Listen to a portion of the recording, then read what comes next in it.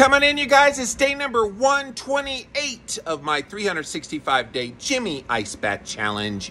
In the year 2022, I have been purposely, yes, on purpose, getting into a very, very, very cold ice bath every day. That's the Morozko Forge, by the way, company that makes an ice bath machine. And they let you set it on a particular temperature and you go from there. So I have been all year long in the year 2022 getting into 32 degrees Fahrenheit for five minutes a day. Some days it's a little warmer than that. Some days I have traveled and needed to go into a cold shower. You do what you can, but I have been consistent on the cold therapy pretty much the entire year, except for a couple days, uh, which I've talked about previously. But that is my destination right around 5 p.m. Eastern every single day. I get into the cold. Now, if you watched yesterday's video, I ran into some trouble with the Morozko Forge. Couple things. The filtration system button decided to go kaput on me a couple days ago. So it has not filtered the water in a couple of days. No big deal. If it went more than a week, I'd be a little concerned, but a couple days and they're gonna send somebody out to help fix that soon. But also it was draining water out. And so this morning, when I looked in there, it looks like the water had dropped again. So I needed to refill the water. So as you can see, there is water in there. You can probably also see that there is ice developed at the bottom. And and it doesn't look like there's any ice in there because there's not at the top, but it's extremely cold water. Let me look at what the temperature is. When I filled it up with the water hose, I left the water hose in there and forgot about it to the point that it overflowed. I am man. Get forgive me a little bit. I am man. Uh, and it got to like 47 degrees Fahrenheit. I'm like, no, I need it to be close to 32. So now here we are, five hours later. It's finally back down to 35.3 degrees Fahrenheit. So still very, very cold. Not quite the 32 degrees that I typically get to, but trust me, 35 is still pretty darn cold. And so I'm excited to get in there as I always do for five minutes. Today, you guys, I want to tell you about this conversation I had with this young friend of mine. Uh, I go to a car wash locally and I have befriended this guy and his girlfriend who work there. And he inquired with me today about cold therapy. I want to tell you how, how it went. 22 year old man and uh, you'll see what happened. All right, let me set this down. Let you guys watch all the action here. Five minutes are on the clock. And let's get this show on the road. Let's get down, let's get down to business. All right.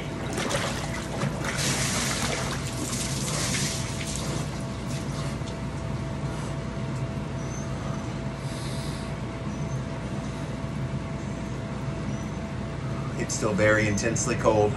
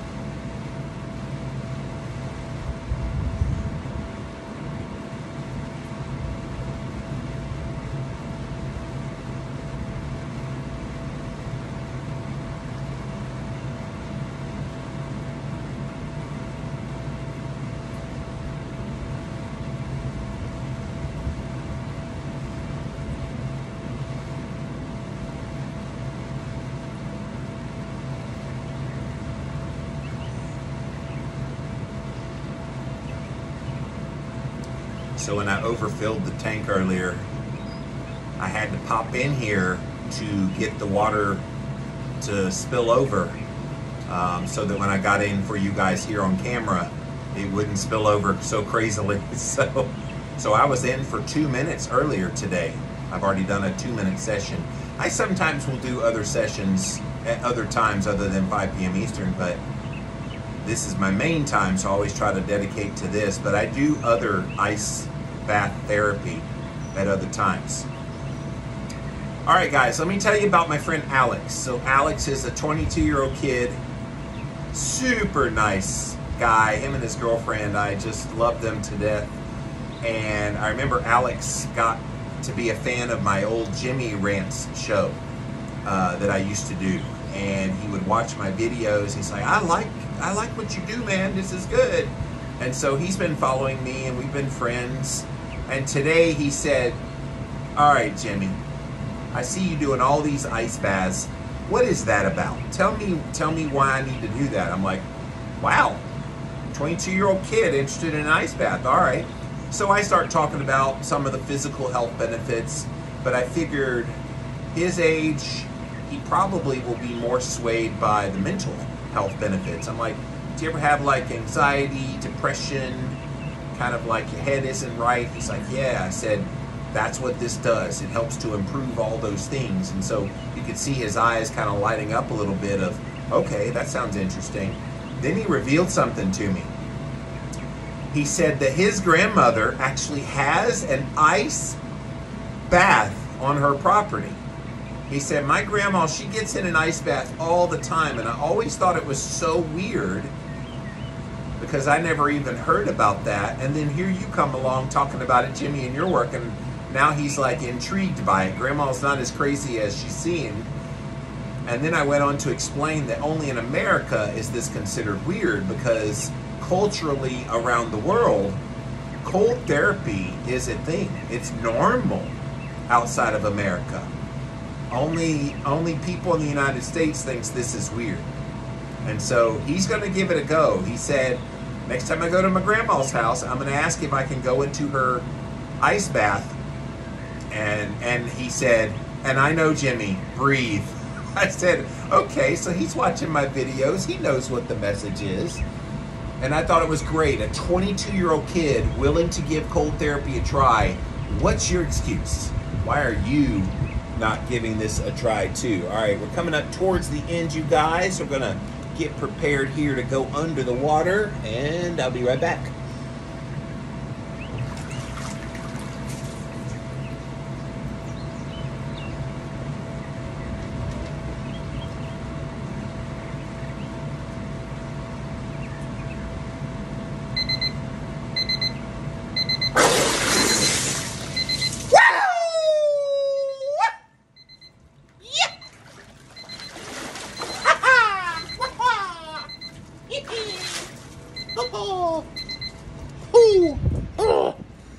My hair always has this funky thing coming out of the water. I look like a crazy man. I'm like a crazy ice man. uh, if you can't have fun in life, guys, what is the point? What is the point of life? Just go through and mope. Oh, let me be boring. Jimmy don't do boring. Nope. Jimmy does not do boring boring is of no interest to me. Nope, nope, nope. But how cool is that, you guys? 22 year old kid who ostensibly feels invincible at that age. I, I, know I did. Most most kids at that age feel like they're capable of doing anything that they want. And they're just starting off their adult life pretty much at that point. So why would you think about anything regarding your health, mental, physical, or otherwise. So, good on you, Alex. Alex is definitely uh, a great kid, and I know he's going to turn into an amazing older adult someday. If he starts doing ice baths in his 20s and then uh, gets his girlfriend to do it, and then they uh, get married someday and start popping out babies and kind of have them understand like culturally speaking, think about all the habits that you now know are good that you implement in your life, from nutrition all the way down. Can you imagine if you learned those as a kid and you started implementing all those things nutritionally and lifestyle that you now you use as an adult? What if you had started those when you were ki- a kid?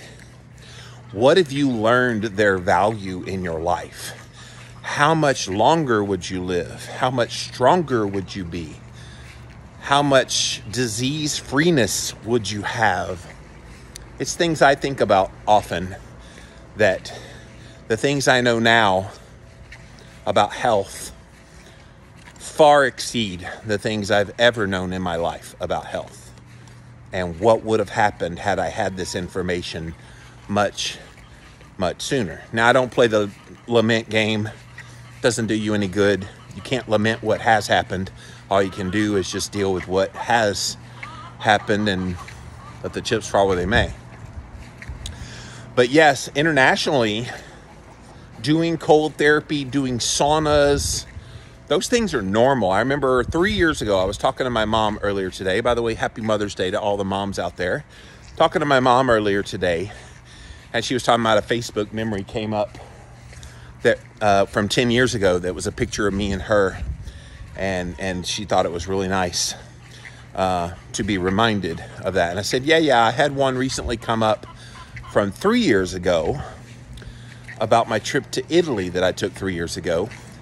And when I was in Italy, they had a spa that literally had one section that was like a sauna, uh, steam sauna. They had, also had a dry sauna. And then they had a cold shower section, meaning they saw the value of not just the heat shock proteins with the sauna therapy, but also the cold therapy for the brown fat activation and all the other things you've heard me talking about. Pretty darn neat. And I've had other people from other parts of the world talk about, oh yeah, we regularly regularly go out for a cold dip. We regularly engage in cold therapy. It's just so much a part of their culture they don't even think about it being weird because it's so normal for them that they don't think anything about it. Whereas here in America, oh my God, that's so weird. That's so odd. Why would you do that? And we wonder why America is so unhealthy. Yes, it's bad diet. Yes, it's bad health advice in general. I think the public health officials and those in charge of trying to promote healthy living principles in America, they have greatly underserved us as people. And we deserve better. We deserve to have better information taught to us. And it seems like all the information they teach to us is tied to some kind of an agenda. Eat low fat, who benefits from that?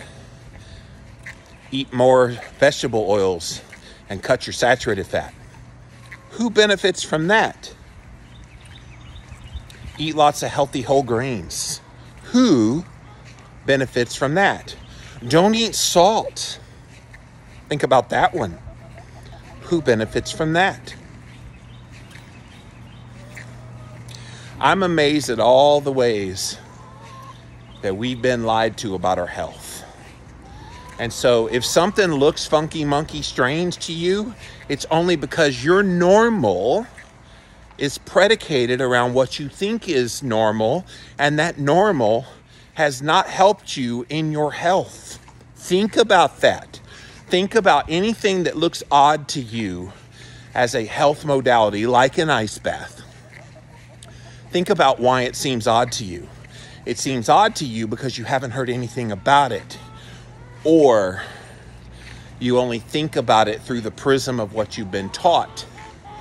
And uh, uh another one uh, about things they promoted put sunscreen on because you don't want to have that dangerous sun on your skin. Well, we now know that's bullshit too because you need the sun touching the skin to produce vitamin D naturally. And vitamin D levels, especially in Americans, is obscenely low. So think about all the so called health advice we've been given. That explains why you think something like an ice bath would be weird. We haven't been taught the value of cold, which is why Jimmy's writing a book about this. It's time we put cold back on the map again and let people see the value that it has to offer. You're not going to see the value until you're convinced of the value, until you experience it for yourself. It's why I've tried to create this ramp onto cold therapy. Everybody sees me getting into the ice bath and they're like, I can't do that. No kidding, you sure can't. It'll be interesting to see how Alex does with his grandma's ice bath. Because if you're not acclimated yet, that can be quite intense. Just like that noise from the road out there, quite intense. Um, so it'll be interesting to see how he does. I told him, I said, be prepared. Uh, you may not like it. Oh, he oh he was telling me one other thing. So his, this is just a little side job he does at this car wash. His main job, they all did a challenge. And it's a bunch of young kids like him. They all did a challenge at work to see who could put their hands into a bowl full of ice water. Just their hands. And he said, whoever could keep it in the longest uh, will win a prize. Well, I think they get a week to do this or something. Well, right now, he holds the record. He was able to keep his hands into the water for two minutes. I was like, dang, boy, that's that's intense. If you're able to get your hands into cold water, ice cold water for two minutes, I said they started feeling pretty tingly and numb. He's like, oh, they were hella numb, dude. So I like, yeah. I was telling him that because it's the furthest from your heart, your hands and your feet, those are the two parts of your body that are the furthest away from your heart that when the blood gets pumped, it's hard for it to go that far and then it has to turn around at that point in the circulation process. That's why when you get into cold, your hands get numb and your feet get numb first, and the rest of your body does pretty well. He said, Yeah, I can imagine your core doesn't really, you don't really feel it at all. I said, Honestly, except when I'm sitting on top of a sheet of ice I don't feel cold or numb in any other part of my body. I said when I have to sit on a sheet of ice, then my then my butt gets numb. But but the hands and the feet are the worst. I said that even I have to pull my hands out at about the three minute mark, three to three and a half minute mark, because it's so intense for me. Otherwise, I could stay in there for a very long time. And so, interesting, they're doing a hands dunk challenge at his work into an ice bowl, ice bath bowl. Uh, and he's got the record right now for, for two minutes. I said, put your mind into another world. Tell yourself that your hands are fire. And it's amazing how we can convince our, our brain to believe things if we just believe them strongly our brains are a lot more powerful than we give them credit for in helping us cope with things that happen in our life. All right, guys, let me pop off of here for now. Thank you so much for watching this. As always, in the month of May, I am currently away writing on my brand new book, Cold Therapy Clarity. We're going to talk a lot about these concepts that I talk about on these ice bath videos in the book. We're going to talk about it. And I decided not to do these live in the month of May. So I apologize for those of you who enjoy interacting live, but they will all be on the replay on YouTube, Facebook, Twitter, and of course on Instagram. Go follow me on Instagram at Living Low Carb Man, L I V I N L O W C A R B M A N. Would love to have you there when I return in the month of June. We will commiserate with the 5 p.m. Eastern ice bath videos. And yeah, get her done, as they say. But for now, let me get out of here. Enjoy the rest of your weekend, and I'll see you again tomorrow. Bye, everyone.